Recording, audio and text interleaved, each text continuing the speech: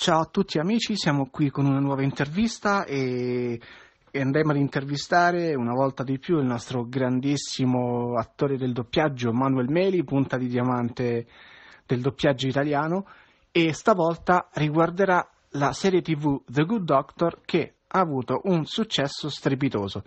Quanto ci è voluto per doppiare questa prima stagione di The Good Doctor? Ciao Davide e ciao a tutti i nostri amici. Allora, per doppiare la prima stagione di The Good Doctor, con, eh, con delle pause, insomma, tra un gruppo di episodi e l'altro, mh, mm, credo, di, credo di aver impiegato più o meno due mesi e mezzo, tre mesi. Quante puntate in una, in una, sessione di doppiaggio? In tre ore di turno per ogni turno da tre ore, appunto perché si divide in eh, ogni turno tre ore, ricordiamo al pubblico sei riuscito a fare in, in una sessione di doppiaggio? Diciamo che in linea generale eh, abbiamo, ho sempre impiegato queste, queste, tre ore di turno per fare due puntate. Magari capitava che all'interno di uno stesso turno eh, ci fosse un altro personaggio, in quel caso ne facevo soltanto una. Come mai c'è una variazione di interpretazione tra la prima puntata della serie e di questa stagione e tutte le successive.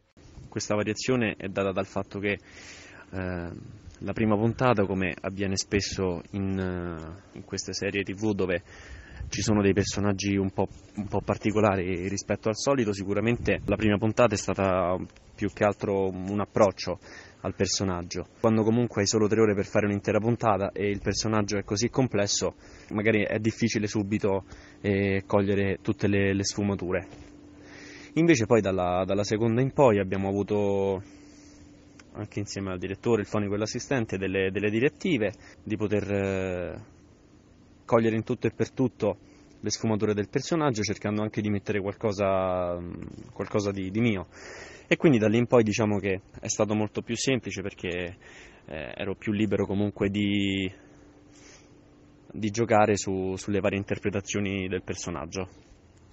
Come avete costruito l'interpretazione, eh, per quanto eh, fosse possibile nell'adattarlo in italiano? Ehm, quanto avete lavorato sul personaggio di Sean? Diciamo, c'è molto del tuo? Hai seguito in gran percentuale l'originale? O comunque c'erano delle direttive specifiche della direzione del doppiaggio, ad esempio? Allora, come dico sempre quando mi viene fatto questo, questo tipo di, di domanda, quando faccio qualsiasi personaggio cerco di mettere sempre qualcosa di mio, anche perché è vero sì che il doppiaggio è una riproduzione fedele di quello che viene fatto in originale, ma eh, sono dell'idea che se comunque in, un personaggio non metti qualcosa di tuo non rende al massimo. Quindi sicuramente ho cercato di eh, fare mie alcune caratteristiche che Sean ha mostrato.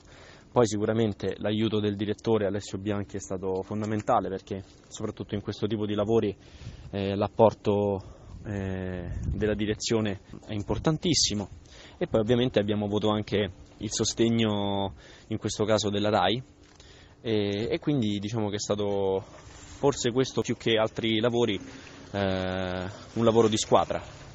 Uh, ci sono state de- delle direttive del regista, della produzione, del supervisore, se ce ne sono state o meno, uh, di qualche genere, oppure era interamente in mano alla direzione la responsabilità di ogni sfumatura?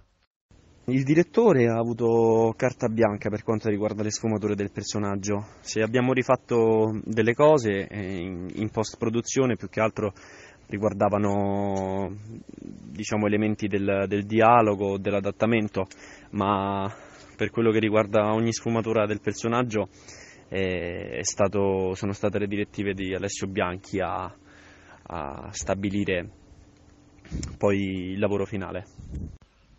Che differenze emotive e tecniche provi nel, nell'interpretare un personaggio autistico?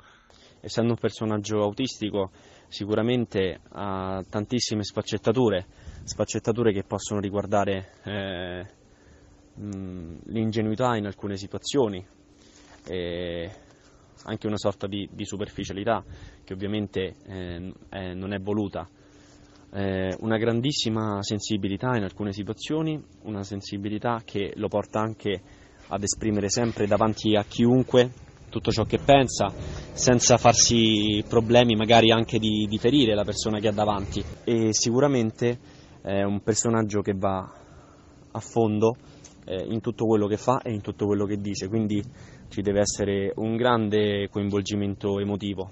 Diciamo anche che però il lavoro mi è stato reso, è stato reso piuttosto semplice ehm, per quanto possibile anche dal, dall'attore, da Freddie Highmore che è veramente un attore straordinario che sto seguendo no? da, da tanti anni ormai e spero di continuare a seguirlo perché è veramente un grandissimo attore e ogni volta che, che, lo doppio mi sento arricchito anche sotto l'aspetto professionale perché stargli dietro è veramente stimolante proprio per il personaggio autistico mm, hai dovuto doppiare molto, mm, correggimi se sbaglio, come si dice, di testa, no? quindi con una voce più, più alta. E, mm, questo ti ha provocato particolare stanchezza a fine giornata, perché comunque magari hai fatto, non so, arrivate a fare 3-4 turni al giorno di lavoro, ti sentivi più stanco rispetto ad altri ruoli? Beh, sicuramente mh, ho riscontrato più, mh, più difficoltà diciamo che in generale comunque, ovviamente non come in The Good Doctor, però in, eh, in tutti i prodotti in cui mi capita di doppiare Freddie Highmore non tengo le, le, tonalità più basse perché comunque nonostante lui sia anche più grande di me vocalmente se, se tenessi la mia voce risulterei un po', un po più grande e suonerebbe un po' sul, sulla faccia dell'attore però sì, sicuramente doppiare di testa è un po' più stancante rispetto a quando utilizzi la tua voce, però ripeto, il personaggio è talmente stimolante che l'ho sempre vissuto come, come una sfida e come un modo per crescere sempre di più, professionalmente e umanamente. Ti è venuto di riascoltarti in tv almeno alcune volte? E hai, hai, fatto dell'autocritica anche in questo caso? Come ti trovi soddisfatto con la tua interpretazione?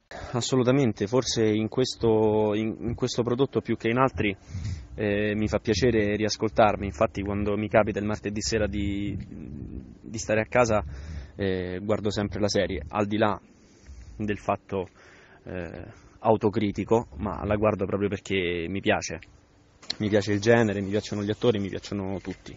Non mi capita spesso di, di, dire, di dire, questo, però sono rimasto soddisfatto comunque della mia, della mia, interpretazione, anche perché nonostante i turni fossero comunque pieni, ehm, abbiamo lavorato veramente bene, come, come una vera squadra, come si dovrebbe fare sempre e quindi sono molto contento non solo della mia interpretazione ma dell'interpretazione generale perché sono stati tutti bravissimi, da, dai personaggi principali ai personaggi di puntata o ai personaggi che magari parlano, parlano, poco, sono stati veramente tutti bravissimi e questo sicuramente è merito del direttore, dell'assistente e del fonico che secondo me hanno svolto un uh, grandissimo lavoro. Hai doppiato in colonna separata effettivamente tutta quanta la stagione? Oppure qualche volta eh, hai avuto la fortuna, che ormai è una fortuna di questi tempi, di doppiare LGO anche con eh, qualche tuo collega e se, se sì, se ti ricordi con chi?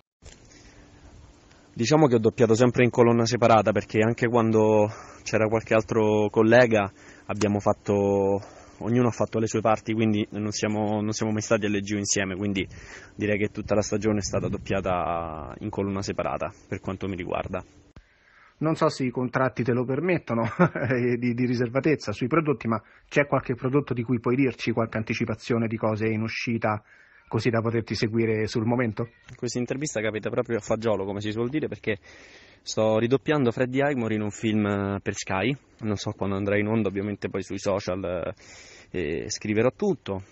Eh, c'è il ritorno di una serie su Netflix, si chiama Salvation, la seconda stagione sto facendo una nuova serie in costume, si chiama Vanity Fair, dove doppio sempre l'attore di, di, Salvation. Diciamo che queste sono le cose che al momento mi stanno tenendo un po' più impegnato. E poi a novembre dovrebbe uscire un film di J.J. Abrams che ho doppiato, un film d'azione, si chiama Overlord.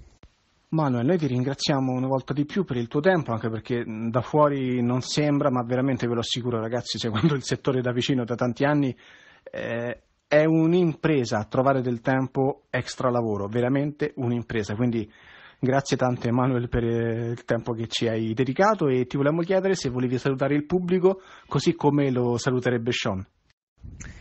Grazie a te Davide, eh, grazie a tutti i nostri lettori, ascoltatori, a tutti quanti, continuate a seguire Davide perché svolge veramente un lavoro eccelso per il nostro, per il nostro settore. E se in questi ultimi 6-7 anni eh, l'interesse per il doppiaggio e per eh, gli attori doppiatori eh, è cresciuto e sicuramente eh, soprattutto per, per, il lavoro che ha svolto lui con il suo sito, con i suoi festival, con i suoi contributi su, su YouTube, sui social, quindi grazie a te Davide. Posso soltanto dire che...